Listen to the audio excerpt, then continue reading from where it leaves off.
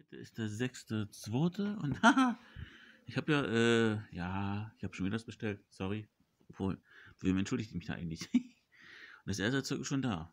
Mal sehen, wa? Weil einer der Gründe ist dafür, dass bei Season 6, war das Season 6? Ist Wer erschoss Mr. Burns Part 1. Und Part 2 Wieso sieht meine Nase so komisch aus? Part 2 ist auf Season 7. Toll gemacht wieder mal. Season 3 habe ich auch bestellt. Warum? Naja, ähm, da ist zum Beispiel, da ist nochmal der Halbbruder mit dabei. Die, die erste Geschichte mit dem Halbbruder habe ich bei einer anderen Season, weiß ich nicht welche. Und bei Season 3, es kann nur Season 1 oder 2 gewesen. Jemals, ähm, bei Season 3 kommt dann der Halbbruder nochmal zurück und will ja, und ähm, möchte dann mit einer großen Erfindung wieder berühmt werden, weil er beim ersten Treffen mit Huma hat Huma ja sein Leben versaut. er hat ihn ja um seine Millionen gebracht. Dieses hässliche Auto, äh, das, wer soll das kaufen? naja, also Season 3 und Season 7 kommen mit der jetzigen Stelle im Februar dann jetzt noch mit. Heute ist der 9.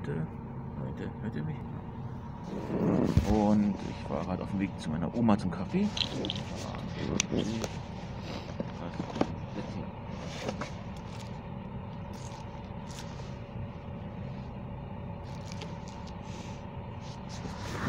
Weil ich so ähnliches Buch habe, nur in grün. Nur das war so ein psychologisches Buch. Ich weiß nicht, dass das auch so ist. Das sieht nicht danach aus. Muss mal gucken. Romy, schönes Thema. Heute ist der äh, 10.2. und das kam jetzt richtig viel. Uhuhuhu. Aber also, ich sehe die Simpsons schon, das Buch von, von Victor Hugo.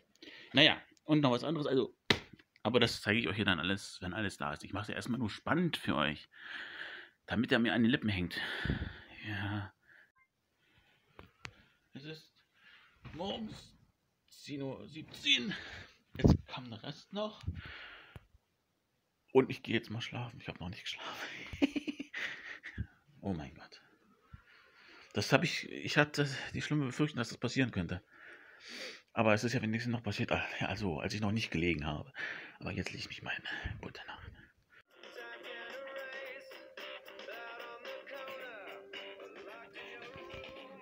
Willkommen zum Video mit dem Thema äh, Amazon-Bestellung Februar. Februar, Februar, genau. Un momento. Okay, ähm. Ja, ich habe diesen Monat schon wieder was bestellt. Oh mein Gott. Naja, gut. Äh, womit fange ich jetzt an? Weiß ich auch nicht.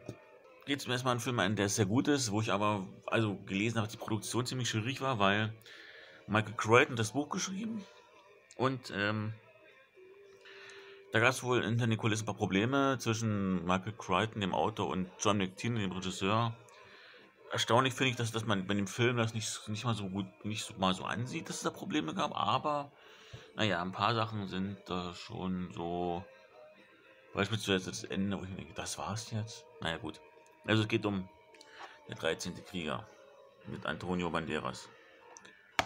Sehr geiler Film. Sehr geiler Film. John McTiernan hat es ja drauf. Man muss ja sagen, John McTiernan als Regisseur sowieso hat was drauf.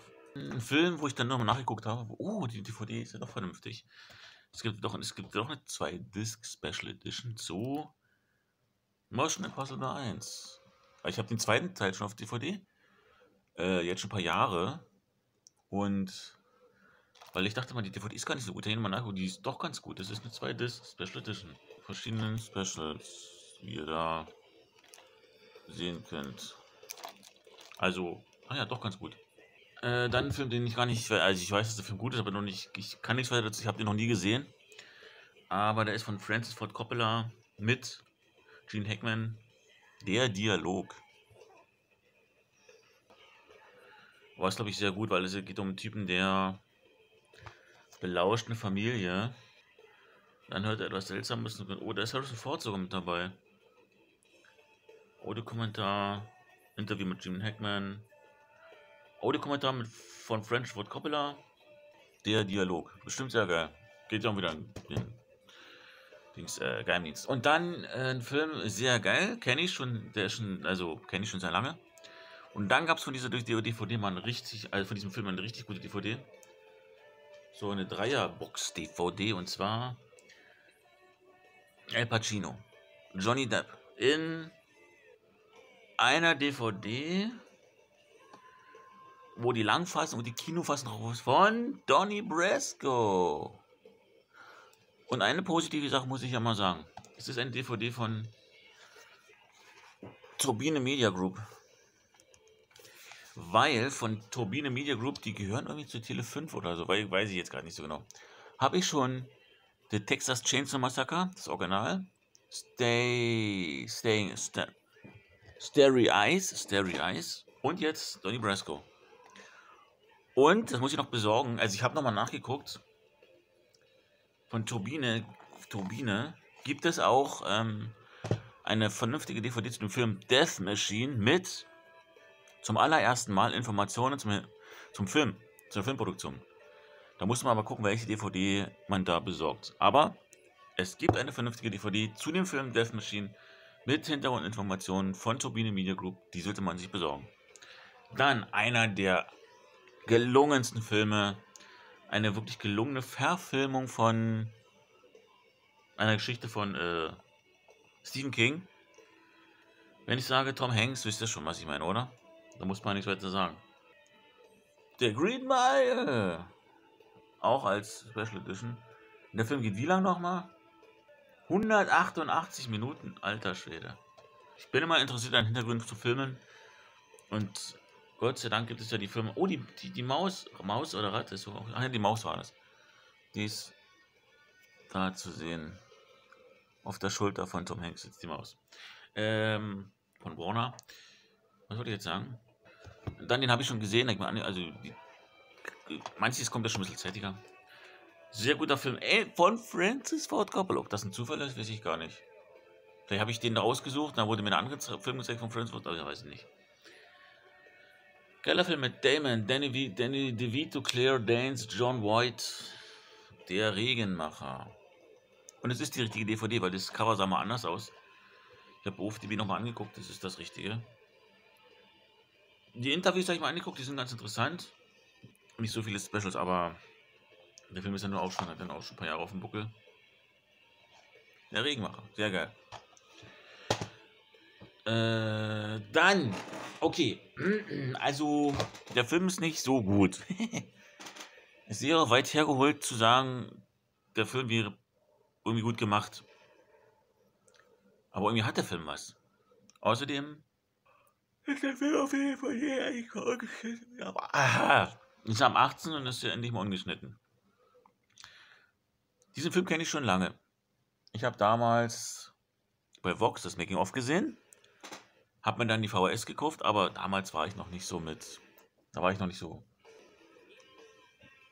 Da war ich noch nicht so hinterher mit den Filmen und habe mir noch nicht so Gedanken gemacht. Dann habe ich nachgeguckt und habe gesehen, oh, man könnte diesen. Also, ich habe dann gesehen, dass es rausgeschnittene Szenen gab und so bei dieser geschnittenen 16er Fassung, die ich damals gekauft habe. Großer Fehler. Und deswegen habe ich jetzt dann doch nochmal die DVD von einem doch mittelmäßigen Film geholt. Aber bei manchen mache ich dann noch eine Ausnahme. Weil eigentlich kaufe ich nur noch die DVDs von sehr guten Filmen, weil das sind sonst zu viele. Aber ich habe ja auch der Hexenclub und Konstantin werde ich mir noch besorgen. Nicht so gute Filme. Also. Und zwar Spawn.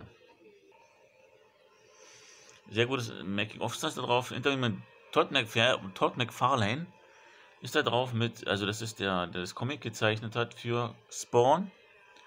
Sehr interessant. Äh, davon soll es eine Neuverfilmung geben mit, ähm, Scheiße, wie heißt der Schauspieler? Ah, Jamie Foxx ist mir eingefallen. Und zwar, es soll von Spawn eine Neuverfilmung geben mit Jamie Foxx weiß zwar nicht, wie Don, wie ob McFarlane das gut findet, weil er ist ja sehr überzeugt von dem Film. Okay, ähm, jetzt kommen wir zu dem Thema, wo ich sagen muss, ja, ich habe es wieder getan. The Simpsons.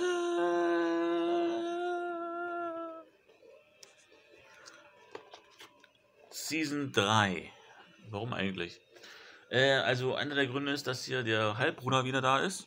Der vermisste Halbbruder, da kommt er zurück wegen der Erfindung. Da kriegt doch dann irgendwie, Bruder kriegt doch Geld, wird das Geld, um ähm, eine Erfindung zu erfinden. Genau. Dann ist auch eine geile Folge, weil die ist schon so alt, die habe ich schon lange nicht mehr gesehen. Und zwar hier. Wer andere einen Brunnen gräbt, wo Bart in den Brunnen reinfällt. Schon lange nicht mehr gesehen. Und eine Halloween-Folge, Albträume, sehr gut. Ein Fluch auf Länders muss ich noch gucken, das ist bestimmt gut. Also wie gesagt, lohnt sich. Season 3. Dann Season 7, weil ja, weil Season 6, wer erschoss Mr. Burns Part 1 nur drauf ist. Da habe ich ja fast gekotzt, ey. Das war ja zum Kotzen, ey. So eine Scheiße, ey. Was soll das, ey? Wahrscheinlich war das genau in der Sommerpause und den das schon ausgenutzt. Wie bei Akte X damals, wo Mulder ermordet wurde und dann. Oh, war gar nicht Mulder. Disc 1, wer erschoss Mr. Burns, Teil 2. Bei Disc 2 ist es so, dass tatsächlich da sind sogar zwei Folgen, die mir gar nicht gefallen, in einer Disc. Das kann kein Zufall sein. Es, entweder hatten ich keine Ideen mehr, die Planung war beschissen oder weiß ich nicht, dass es ein Problem gab. Jedenfalls ist bei Disc 2 einmal der behinderte Humor und das schwarze Schaf. Das sind zwei Folgen, die ich gar nicht, nicht so gut finde. Da passiert nicht sonderlich viel in den Folgen. Aber auf Disc 2 ist das auch noch die 138. Episode, eine Sondervorstellung sind dabei. Ein Sommer für Lisa ist zum Beispiel auch so, wo die, wo die da sich verändert und dann kriegt die echte Freunde und, und Bad versaut ist dann wieder alles. Lisa als Vegetarierin, wo die das, wo Lisa das Schwein entführt und dann Marge aus purer Gewohnheit, dass Bart nochmal scheiße Bart ruft. Bart! Und Bart steht daneben, wieso, ich habe gar nicht gemacht. Die Panik-Horror-Show, ist das nicht auch eine. Warte mal, ist das nicht auch eine Halloween-Folge? Mann! Genau, ach so, ja, das ist aber von, das ist aber Disc 1, ne? Die bösen Nachbarn ist auch bei, äh, Season, Season, Season, Season 7 dabei. Äh, wo Bart sich ja mit Dings anlegt. Ex-Präsident George W. Bush. Auch sehr geil. Also und hier äh, bei Wer fand Itchy Scratchy ist auch noch bei Season, Season 7. Äh, bei Wer fand Itchy Scratchy endet doch die Folge mit diesem Ding hier, ne? Mit diesen zwei komischen Bart und Lisa, ne? Und da fand ich es immer das irgendwie sehr spannend, dass plötzlich so eine komische Figur aufkreuzt. Ich habe mich immer gefragt, woher kommt diese komische Bartfigur? Äh, jetzt, wo ich die Simpsons etwas besser kenne und die anderen Folgen gesehen habe, weiß ich ja, das sind Bart und Lisa von Season 1.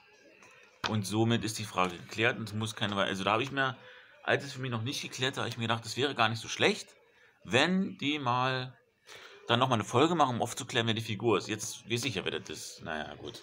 Brauchen sie also nicht mehr machen. So, dann habe ich noch Bücher bestellt. Ähm, Victor Hugo, der Glöckner von Notre Dame, weil ich von ihm ja schon was habe. Und zwar Victor Hugo, der lachende Mann und die Elenden. Und das, damit hat es angefangen. Das ist ein sehr, sehr geiles Buch, eine sehr interessante Geschichte. Darauf bin ich gekommen durch das Buch von James Elroy, der, Die schwarze Dahlia, da wurde das erwähnt. Dann habe ich das mal gesucht. Naja. Und dann habe ich ein Buch besorgt, weil das gibt schon, es gibt schon eine Weile. Pearl Harbor, wie die amerikanische Regierung die, den Angriff provozierte und 2476 ihre Bürger sterben ließ. Jetzt, bei dieser Bestellung habe ich dieses Buch bestellt. Sodomie. Äh, und es ist tatsächlich, es gehört tatsächlich zur selben Reihe. Weil ich habe da schon ein Buch, also das war wirklich psychologische Natur. Das Problem der Tötungshemmung beim Mörder zur Psychologie des Mordes. Ja? Jetzt habe ich das bestellt, das blaue ist von jetzt. Und es ist tatsächlich dasselbe Symbol da unten.